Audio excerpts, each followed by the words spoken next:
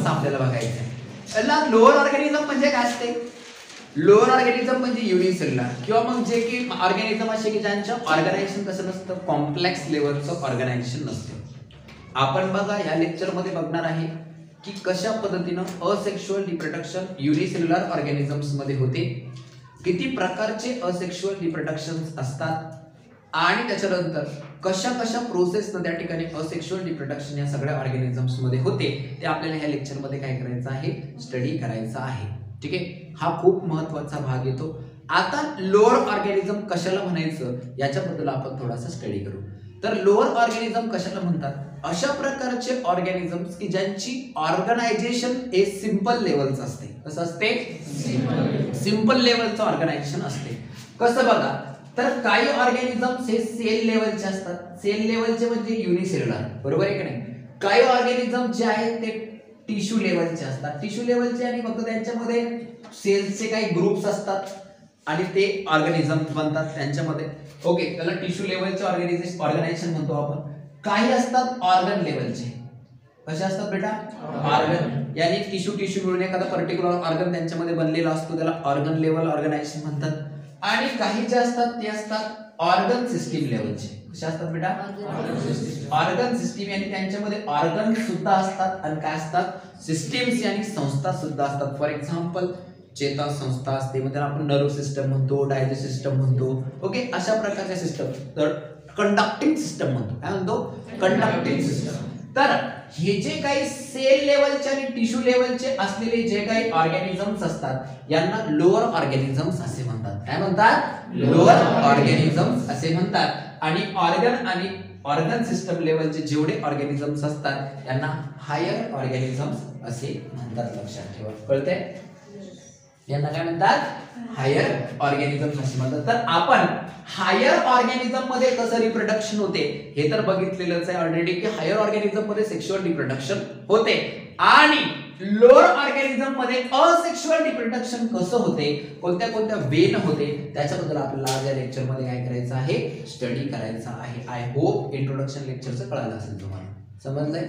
Okay आता बघूया आपण रिप्रोडक्शन इन लोअर ऑर्गॅनिझम आता काय म्हणतोय? मॅक्झिमम यानी जास्तीत जास्त. मॅक्झिमम लोअर ऑर्गॅनिझम जे भरपूर सारे लोअर ऑर्गॅनिझम्स आहेत. Maximum lower organism reproduce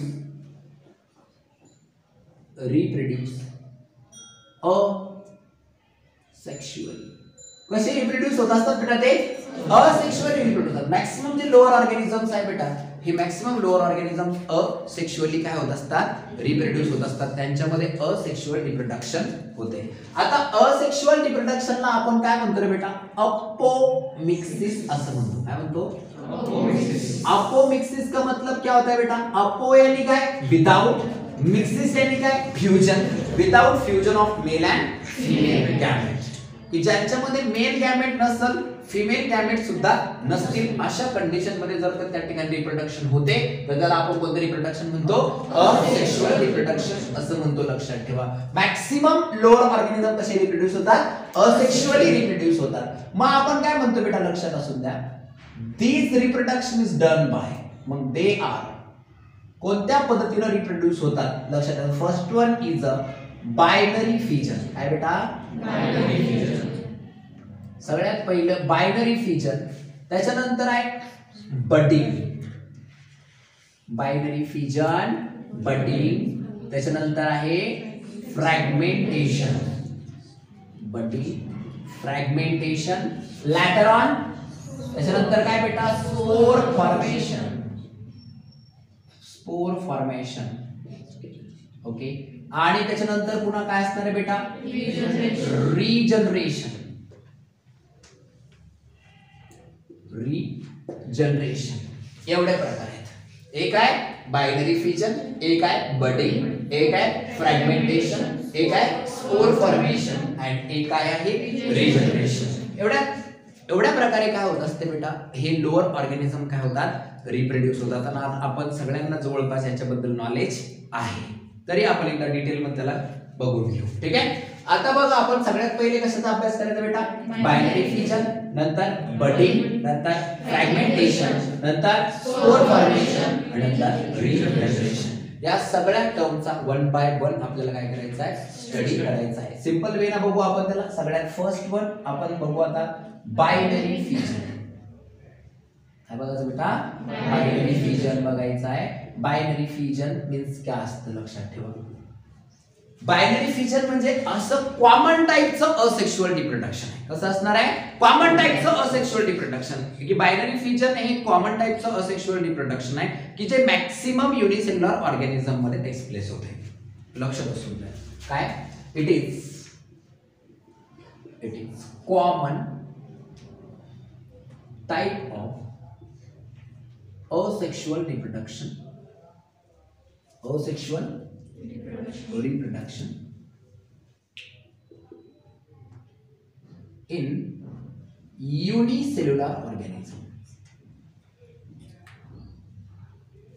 जे युनिसेल्युलर ऑर्गॅनिझम्स असतात या युनिसेल्युलर ऑर्गॅनिझम्समध्ये कॉमनली कोणतं रिप्रोडक्शन होत असते? बायनरी फिजन रिप्रोडक्शन होते लक्षात ठेवा. मग या बायनरी फिजनमध्ये काय असते? इन बायनरी फिजन या बायनरी फिजनमध्ये काय असते बघा लक्षात ठेवा. तर बायनरी फिजनमध्ये नॉर्मल सेल डिव्हिजन असते. काय असते बेटा? Normal cell division in binary fission parent cell जी असते कोणती सेल म्हणू आपण तिला? Parent cell divide divide mitotically कशी डिवाइड होईल बेटा? मायटॉटिकली डिवाइड होते. लक्षात ठेवा. ओके आणि रिप्रोडक्शन टेक्स प्लेस होईल फॉर एक्झाम्पल आपण जर कधी पॅरेंट सेल कन्सिडर केलं suppose this is the amoeba हा कोण आहे बेटा आपला? अमिबा आहे. तर अमिबा मध्ये त्या ठिकाणी काय होईल? मायटॉटिक सेल डिव्हिजन कंप्लीट होईल. तर अमिबाचे किती अमिबाळे तयार होईल बेटा? दोन. तर त्या ठिकाणी one cell divided into a two equal cell that is mitotic division जर एक सेल दोन सेल मध्ये डिवाइड होते त्याला काय म्हणत असतं बेटा आपण? मायटॉटिक डिव्हिजन असे म्हणतो लक्षात ठेवा. कळतं इथपर्यंत? मग आता काय होणार? ही जी सेल आहे पॅरेंट सेल आहे. हे सेल कोणते बेटा? पॅरेंट सेल आहे. या पॅरेंट सेल जी आहे या पॅरेंट सेल मध्ये मायटोटिक डिव्हिजन झालं तर एका सेलच्या किती सेल होईल? दोन सेल म्हणजे एका ऑर्गॅनिझमचे दोन ऑर्गॅनिझम होणे म्हणजेच काय असतं? रिप्रोडक्शन असतं. मग या ठिकाणी एका ऑर्गॅनिझमचे दोन ऑर्गॅनिझममध्ये कन्व्हर्जेशन झालंय. तर काय नाहीये बेटा लक्षात ठेवा इकडं इथं कोणत्याही प्रकारचे गॅमेट्स इन्व्हॉल्व आहे का? नाही. मग या ठिकाणी जर गॅमेट्सच इन्व्हॉल्व नाही तर हे कोणतं रिप्रोडक्शन असणार आहे? ऍक्च्युली बायनरी फिजन तीन प्रकारे कंप्लीट होते. किती प्रकारचे असतं बेटा? तीन प्रकारचं बायनरी फिजन असते लक्षात normally it is done by normally it is done in three types किती टाइप्स मध्ये डन होते बेटा थ्री टाइप्समध्ये डन होते. त्याच्यामध्ये फर्स्ट ए जे आहे त्याला म्हणतो आपण सिंपल असते. कसं असतं बेटा? त्याला सिंपल बीएफ म्हणतात. काय म्हणतात? व्हॉट इज सिंपल बीएफ लक्षात ठेवा. सिंपल बीएफ म्हणजे कसा? साधा सिंपल म्हणजे कसा बेटा? सिंपल यानी काय? Simple binary fission second one B is the transverse कसं असतं बेटा? ट्रान्सवर्स बायनरी फिजन लक्षात transverse BF okay transverse binary fission आणि नंतरचं जे आहे C that is a longitudinal कसं असतं बेटा? लॉन्जिट्युडिनल बायनरी फिजन हे तीन प्रकारचे बायनरी फिजन असतात. एक सिंपल बायनरी फिजन एक ट्रान्सफर बायनरी फिजन एक longitudinal binary fission simple binary फिजनचं example येतं अमिबा कोण येतं बेटा? अमिबा जो आहे त्याचं एक्झाम्पल येत आहे सिंपल बायनरी फिजन कळतंय तुम्हाला? That is a simple way कोणत्याही वे ना होईल त्याला सिंपल म्हणणार आपण.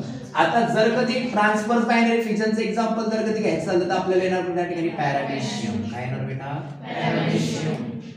पॅरामेशियम एक्झाम्पल असणार है कशाचं?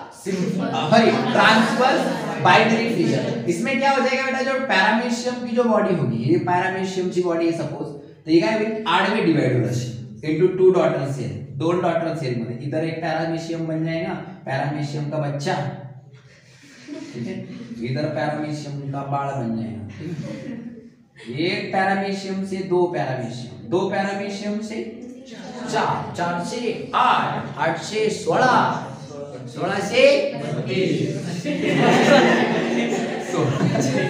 हा सोळा पासून बत्तीस बत्तीस बत्तीसचे चौसष्ट होतील. आणि पॉप्युलेशन विल इन्क्रीजेस पॉप्युलेशन आणि लोकसंख्या. त्यांची लोकसंख्या वाढत जाईल.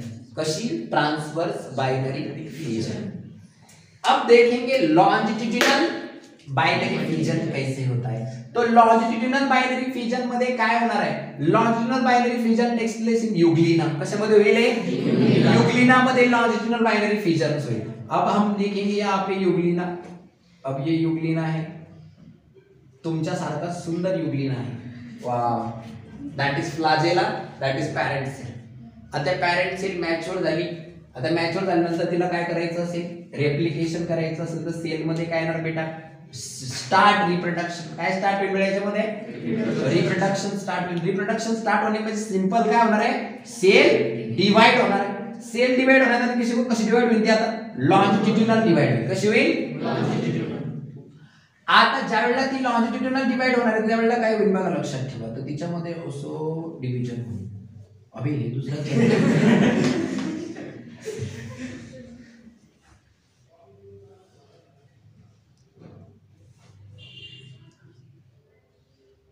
माणसांचं काय काढलं तुम्ही?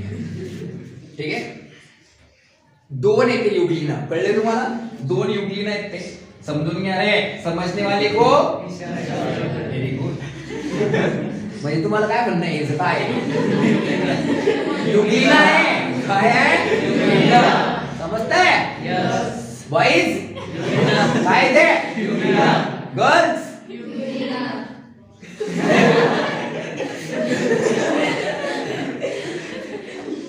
तर लक्ष. लक्ष असून द्या. असो असो कंट्रोल कंट्रोल आणि नंतर याचं काय होणार? स्प्लिट अप होणार न्यूक्लियस डिव्हिजन होणार आणि या ठिकाणी काय होणार? एकमेकांपासून सेपरेट होणार. आणि न्यू टू युग्लिनॉइड्स काय होतील? या ठिकाणी बनतील. काय बनतील बेटा दोन? युग्लिनॉइड्स आणि युग्लिनाचे बच्चे. युग्लिनाचे बच्चे. तुम्ही म्हणता ऍरो तिकडं बच्चे इकडं. ओके येत ना कोण केव्हा काय ऑब्जेक्शन घेत सांगता येत नाही एखादं म्हणत सर आरो तिकडे दाखवले बच्चे दाखवले यांचे बच्चे कळलं तुम्हाला understand this that is the main important concept that is the binary fission you know clear simple binary fission simple set division transfer binary fission transversely होईल. आणि लॉजिट्युडिनल कसं होणार? उभं होईल ठीक आहे? कळलं तुम्हाला ना व्हर्टिकल बायनरी फिजन सुद्धा म्हणतात. काय म्हणतात? Vertical binary features understand this okay चलो अब हम नेक्स्ट टॉपिक के बारे में पढ़ेंगे. बाइनरी फीचर्स के बाद में क्या पढ़ेंगे बेटा? बटिंग बटिंग आता बटिंगचा अभ्यास करण्याच्या अगोदर तुम्ही सगळ्यांनी काय काय खाल्लेलं असते? तुम्हाला काय काय खायला आवडते बेटा? बी फॉर बटिंग अरे जमतो काय बेटा?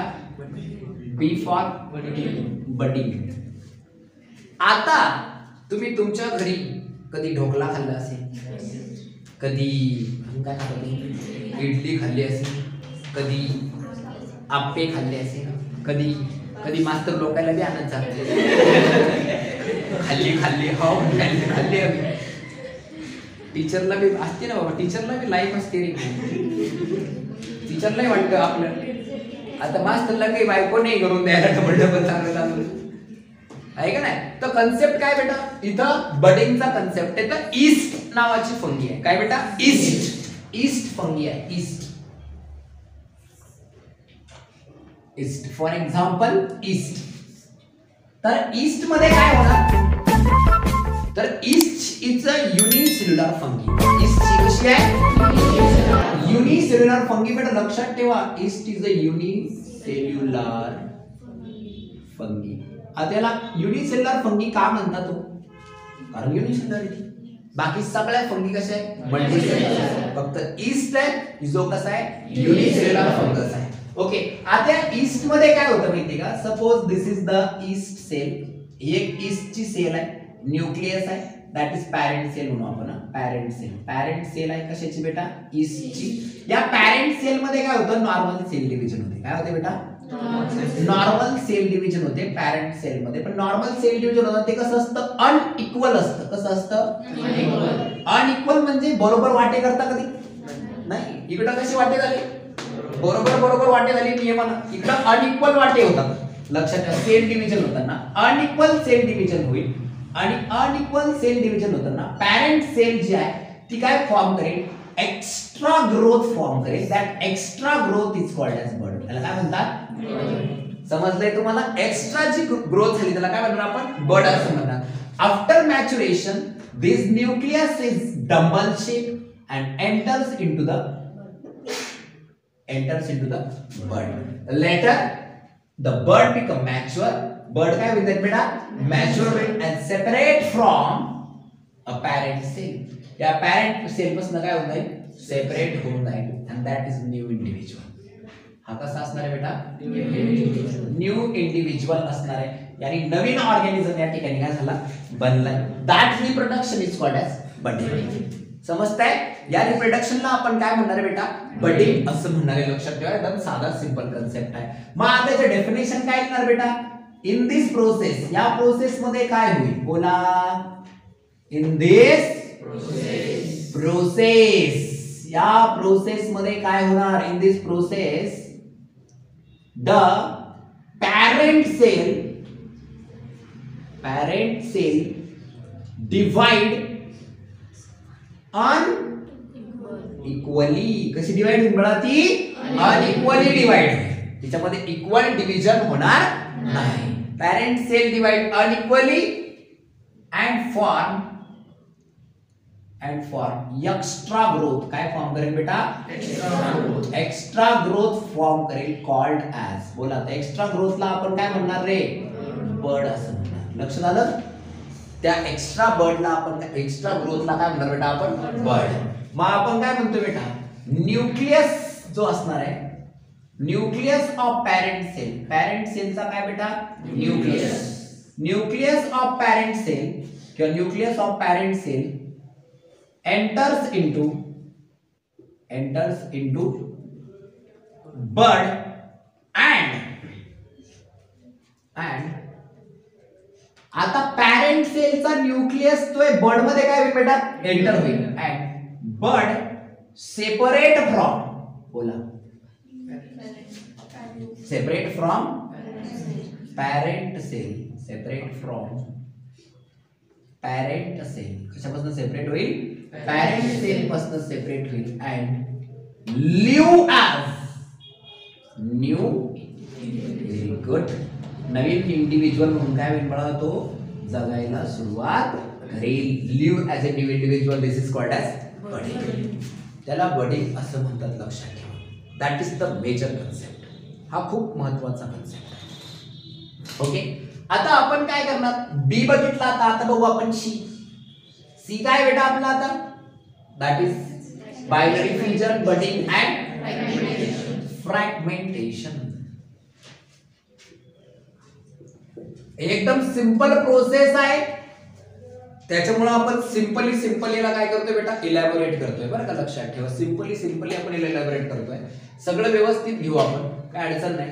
फ्रॅगमेंटेशन काय असते बेटा? तर fragmentation it is normally normally seen in हे कशामध्ये दिसून येतं बेटा आपल्याला लक्षात ठेवा ते? नॉर्मली सीन इन अल्गे कशामध्ये दिसून येतं आपल्याला? अल्गे मध्ये दिसून येतं लक्षात ठेवा. Normally seen in algae that is spiro बरोबर आहे? आता आपण जर स्पायरोगायराची डायग्राम जर कधी बघितली असेल तर स्पायरोगायराच्या डायग्राममध्ये स्पायरोगायरा अशा पद्धतीनं असतात. ओके स्पायरोगायरा हे काय असतात? बेटा कॉल्युमनार ऑर्गनायझेशन फॉर्म करतात. कॉल्युमनार आणि त्यांच्या कॉलम्समध्ये अशा प्रकारे काय असतात? स्पायरोगायरा प्रेझेंट असतात. अशा प्रकारचा स्पायरोगायरा आपण आपल्या बुक्समध्ये सुद्धा बघितलेला आहे. दॅट इज द स्पायरोगायरा आहे ना? अशा प्रकारे असते spirogyra okay that is the spirogyra तर फ्रॅगमेंटेशनमध्ये काय होणार? अल्गेची जी बॉडी आहे इट इज अ ब्रेक ही काय होणार बेटा? एकदम ब्रेक होणार एकदम सेव्हरल पीसेस मध्ये. खूप साऱ्या पीसेस मध्ये गाडी ब्रेक होणार. And at the break side each spirogyra आता स्पायरो गायरा एकदा ब्रेक झाला तर प्रत्येक जो फ्रॅगमेंट आहे कशामध्ये डेव्हलप होऊन जाईल बेटा? न्यू इंडिव्हिज्युअलमध्ये डेव्हलप होऊन जाईल. आणि एक स्पायरो गायरा इधर बन जाएगा इससे बन जाएगा इधर एक स्पायरो गायरा इधर बन जाएगा एक स्पायरो गायरा यहाँ पे ऐसा यहाँ पे ऐसा. न्यू इंडिविजुअल बन जाएगा और इधर भी ये स्पायरो गायरा यहाँ पे बन जाएगा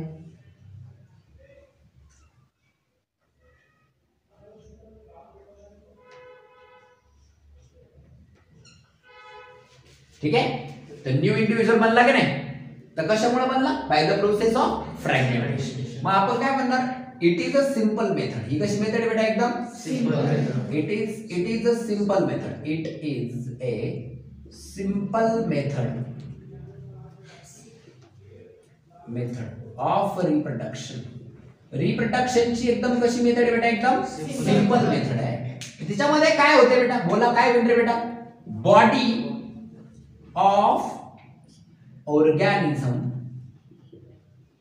लाईक कोण बेटा? Algae body of organism like algae break into fragment कशामध्ये ब्रेक होईल बेटा? फ्रॅगमेंट्समध्ये काय होईल break break into fragments and each fragments each fragments live as a new individual प्रत्येक फ्रॅगमेंट काय म्हणून जगेल बेटा? एक नवीन इंडिव्हिज्युअल म्हणून जगेल. लक्षात for example in the case of spirogyra बोला. स्पायरो गायराचं एक्झाम्पल आहे ना एकदम सिंपल आहे का नाही? आवड वाटते तुम्हाला काय याच्यामध्ये? हा? अजिबात अवघडचा विषय काहीच नाही. त्याच्यानंतर डी डी फॉर फ्रॅगमेंटेशन के बाद क्या जाएंगे बेटा? स्पोर मी याला रफ करू का एकदा एवढं आता इकडचं? हे डायग्राम सगळ्यांच्या लक्षात राहून नाही ठीक आहे? त्यांना ठेवा. एकदम रफ करून टाकू आपण त्याला नंतर बघू आपण. ठीक आहे? आपण आता बघूया थोडस स्पोर फॉर्मेशन इधर स्पोर फॉर्मेशन देखेंगे इधर रिजनरेशन देखेंगे. ठीक है तो चलो डी फॉर स्पोर फॉर्मेशन लिखिएगा D that is spore what is spore बेटा स्पोर यानी क्या असते बेटा? स्पोर फॉर्मेशन इसका मतलब होता है कि स्पोर बनना। क्या बन जाना बेटा? स्पोर बन जाना स्पोर कैसे बनता है? अब स्पोर यानी क्या रहते? तो कण। छोटे छोटे कन्स असतात फॉर एक्झाम्पल आपण टिफिनमध्ये कधी कधी बुरशी लागलेली पाहिलेली आहे. एक्झाम्पल सांगितलं होतं मी तुम्हाला. टिफिनमध्ये काय लागते? बुरशी लागते. आपण जर कधी समजा घरी गेलो बुवा आणि डबा काढायला धंडी राहिलं. आहे की नाही? कारण आपण पुस्तक बॅगकडे कधी बघतो का आपण? घरी गेलं बॅग फेकली तिकडं. त्या डबा बी त्यातच होता. सोमवारी घरी येताना मग डबा नाही. क्लासला येताना तेव्हा कळलं आपल्याला. उघडला डबा तर त्यातून सेंट आला सेंट. है ना? कसा सेंट येते रे? एकदम बढिया है. तर काय स्पोर फॉर्मेशन अब ये जो स्पोर फॉर्मेशन आहे स्पोर फॉर्मेशन दोन ऑर्गॅनिझम मध्ये होईल. अल्गे मध्ये पण आणि फंगी मध्ये पण. लक्षात ठेव. मग आपण काय म्हणतो? अल्गे अँड फंगी कोण बेटा? Algae and fungi algae and fungi. Both both reproduce both reproduce asexually. कसे reproduce होतात बाळा हे पण? Asexually. By spore फॉर्मेशन लक्षात ठेवा. स्पोर फॉर्मेशन मेथड न त्या ठिकाणी असेक्शुअली रिप्रोड्यूस होत असतात कोण बेटा? अल्गे अँड फंगी दोन्ही सुद्धा. तर अल्गीचे एक्झाम्पल जर घेतलं आपण अल्गी. तर अल्गी मध्ये काय असते बेटा? अल्गी रिप्रोड्यूस किंवा अल्गी मेक अल्गी काय करते बघा लक्षात ठेवा. Algae make a motile spore. काय बनवते बेटा? Algae make motile spore is called zoospore. काय म्हणतो आपण त्याला? Zoospore. असं म्हणतो. फॉर एक्झाम्पल अल्गी मधलं पण कोण बेटा? क्लॅब मायडोमोनास कोण बेटा? क्लॅमॅडोमोनास नावाची जी अल्गी आहे ही काय करते? सेफ्टिक कंडिशनमध्ये. कोणत्या कंडिशनमध्ये बेटा? सेफ्टिक कंडिशन किंवा त्याला आपण फेवरेबल कंडिशन म्हणतो. कोणती कंडिशन म्हणतो बेटा? फेवरेबल म्हणजे योग्य स्थितीमध्ये. ती काय करते? मोटाईल आणि हालचाल करू शकणारा स्पोर काय करते? बनवते. आणि त्याला काय म्हणतात असतो बेटा? आपण त्या स्पोरला झू स्पोर असं म्हणतात. It is called as zoospore okay आणि झू स्पोर म्हणल्यानंतर त्या स्पोरचं काय होते? रिप्रोडक्शन होते. फॉर एक्झाम्पल आपण जर क्लायमॅटोमोनस जर बघितलं आपण तर दॅट इज द क्लायमॅटोमोनस अशा प्रकारचं जवळपास स्ट्रक्चर असते क्लायमॅटोमोनसचं ओके आणि क्लायमॅटोमोनसच्या अंदरमध्ये या ठिकाणी काय बनवतो? हा जर युनिसेल्युलर क्लायमॅटोमोनस ते क्लायमॅटोमोनसमध्ये अंदरमध्ये काय बनतात? स्पोर्स बनतात. अशा प्रकारचे स्पोर बनतात. आणि क्लायमॅटोमोनस काय करतो? स्पोरला काय करून टाकतो असे रिलीज करून टाकतो रिलीज दी स्पोर्स आणि हे जे काय आहे? झू स्पोर्स आहे. काय बळा हे? झू स्पोर्स आहे. And that zoo spores are develop into बोला कशा डेव्हलप होतो? बघा हे झू स्पोर न्यू इंडिव्हिज्युअल लक्षात ठेवा. नवीन इंडिव्हिज्युअलमध्ये तयार होतात. या प्रकारचं रिप्रोडक्शन असते तर त्याला म्हणतात तो काय बेटा? आपण स्पोर हे झालं कशामध्ये? अल्गेमध्ये. आता फंगी जे आहे फंगी मध्ये पण सेम होते. फंगी काय करते पण लक्षात ठेवा. फंगी. लाईक पेनिसिलियम कोण बेटा?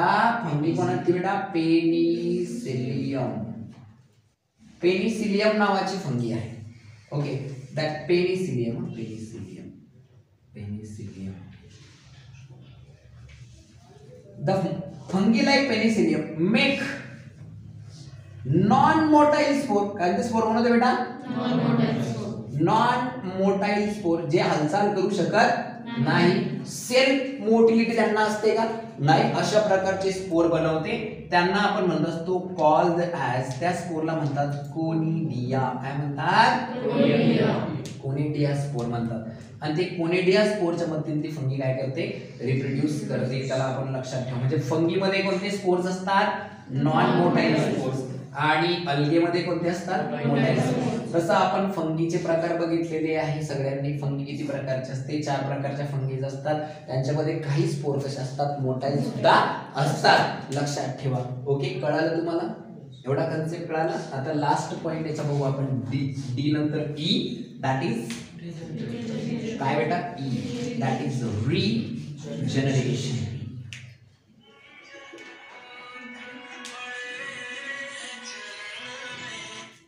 आता रिजनरेशन म्हणजे काय असतं त्याच्याबद्दल थोडक्यात आपण त्या ठिकाणी स्टडी करू. रिजनरेशन का मतलब क्या होता है? री आणि परत. जनरेशन आणि न्यू जनरेशन फॉर्म होणार. तयार होणार. तर याचं एक्झाम्पल येतं प्लॅनेरिया कोणत्या केसमध्ये प्लॅनेरिया जर आपण प्लॅनेरिया बघितलं तर प्लॅनेरियाचं स्ट्रक्चर असं असते जवळपास.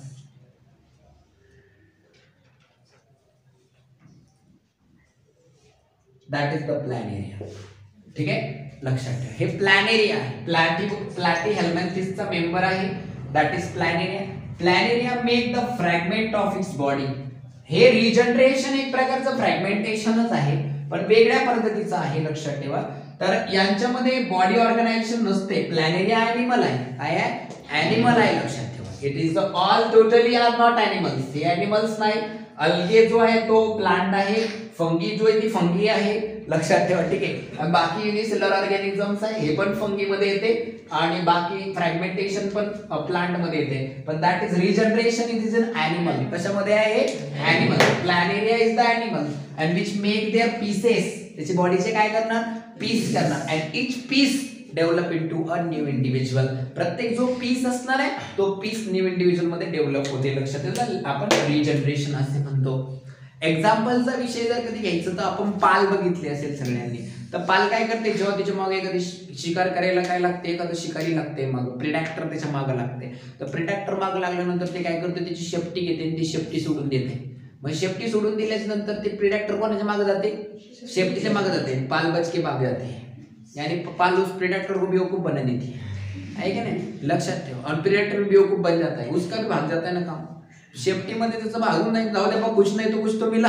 आहे का नाही? पालेमध्ये थोडंसं गेलं तर जाऊ दे डबल बोलून घेऊ. असं विषय त्यांचा. रिजनरेशन आहे. पाला पाल परत पर काय करते रिझल्ट ते? शेफ्टी बनवून घेते त्याला डबल नवीन. आहे का नाही? लक्षात ठेव that is the most important concept you know okay it is better and easy for understanding thank you so much okay that is the asexual reproduction in the lower organisms. Hope you understand betterly.